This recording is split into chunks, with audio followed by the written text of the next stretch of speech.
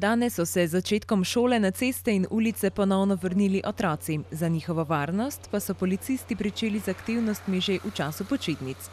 Čeprav so pomorski policisti letos obravnavali manj prometnih nesreč kot v enakem obdobju lani, je še kako pomembno nenehno opozarjanje na skrb za varnost. Dolgo nismo vedeli, kaj se bo sploh z šolo zgodilo in ali bodo ti naši otroci ali pa ti najmlajši prvič, kateri prvič hodijo v šolo, gredo v šolo, sploh prestopili ta šolski prak.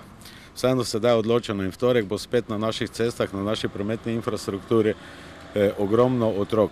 Ti otroci bodo vstopili v ta svet prometa, svet, katerega smo si mi odrasli naredili za odrasle, v katerem mi že vse vemo, oni pa pridejo ali pa iz igrišča ali pa to svojo brezskrbno tekanje po domačem dvorišču zamenjajo za neki novi svet oziroma za neko novo novo infrastrukturo, za nekaj novega, kar niso navajeni ali pa kar še zelo slabo poznajo.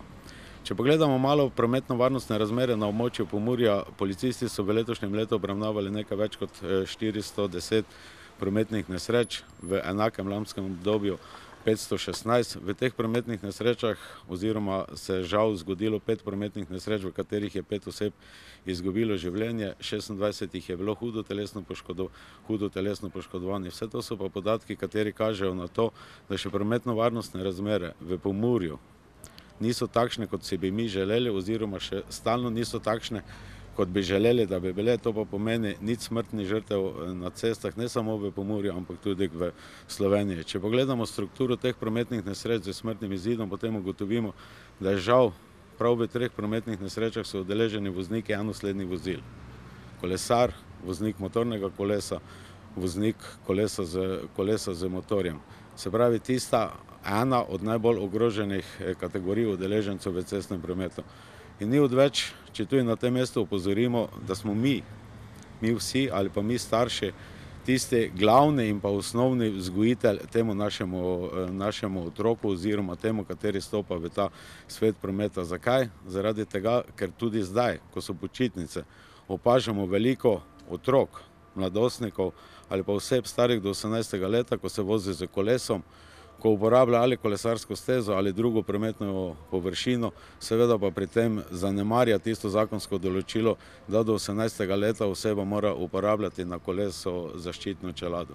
Prvi element je prav ta varnostna čelada, katera pomeni, da lahko otrok ali pa tista oseba poskrbi za sebe in pa za lastno varnost. Mi že vrsto let eh, naredimo neki načrt oziroma je ta načrt razdeljen na aktivnosti pred začetkom šolskega leta v prvih dneh pouka in pa potem skozi vso šolsko leto. In do sedaj smo že pogledali ali pa pregledali vso to prometno infrastrukturo v bližini šol, obvestili vzdrževalca, da se popravijo tiste napake, katere smo mi policisti opazili, da bomo prvi šolski dan ali pa prvi teden, ko se bo začel pouk v neposredni bližini šol, kjer bomo nadzirali hitrost, predvsem hitrost, katera je eden od najpoglavitnejših vzrokov za nastanek prometnih nesreč tudi v Pomurju, da bomo tem otrokom ali pa vsem prijazno svetovali, kako varno priti v šolo, kako varno prečkati cestišče in pa seveda tudi v primeru ugotovljenih nepravilnosti ali pa hujših kršitev zoper njih represivno ukrepali. Potem bomo te aktivnosti vodili skozi vso šolsko leto, predvsem pa so te aktivnosti usmerjene v varni prevoz otrok v šolo in pa iz šole domov. Ne bomo sami. Pri teh prvih dneh v pouku nam bodo pomagali tudi vsi ostali oziroma vsi tisti, kateri se tako ali drugače ukvarjajo s prometom, prometno tehniko, prometno infrastrukturo.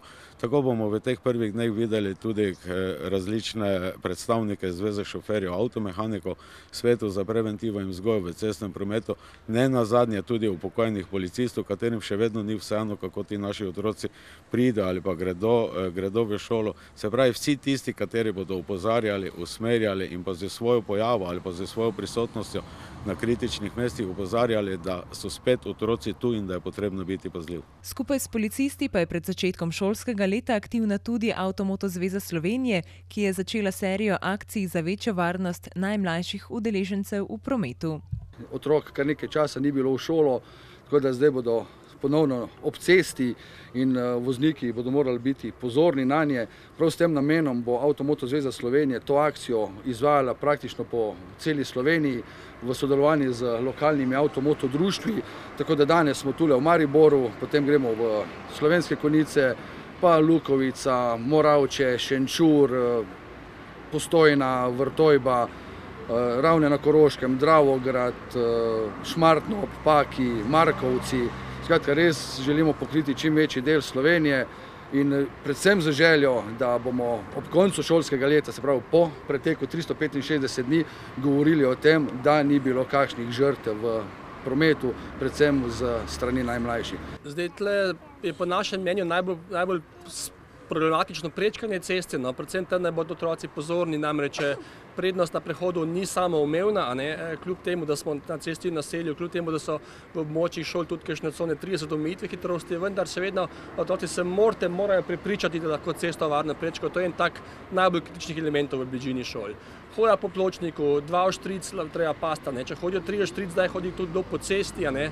To jih je treba povedati, da se to ne sme, a ne. Torej morajo biti res pozorni, naj nosijo odsevna telesa, naj nosijo ali kresničke ali, ali te telovnike oziroma rutke, ne. Tako da, uh, mislim pa, da jih šola o tem kar dobro poduči. Tudi otroci so tle kar uh, um, dovzetni za, te, za, te, za ta navodila. Če šolske poti se nobena ni absolutno varna, ne, imajo nedvomno neka mesta, ki so bolj izpostavljena, tam je potrebna še posebna previdnost. Običajno tudi tam šole peljejo otroke, ta mesta si prej pogledati, tudi morda skupaj starši, da jih pozorijo, kje naj bodo še posebej pozorni, ko so na svoji poti v šolo ali iz šole. Potem tudi jasno otroci hodijo v šolo s kolesi, hodijo z skiroji, Uh, tako da je tudi ja, jasna vloga staršev, delna vloga šole, vsi skupaj moramo zagotoviti, da pač to nekako uh, speljemo. Tudi tistih ljudi, ki bodo, uh, ali so to naši AMD društva, ali so to ZŠAMovci, ki tisti 14 dni, pa 10 dni varujejo otroke na šolskih poteh. Tukaj bi si pravzaprav želeli, da bi šolsko prometno službo imeli vse leto. Ne. To je pa še en tak cilj, ki je morda pred nami, ki pa še ni nekako zelo dobro zaživel v Sloveniji.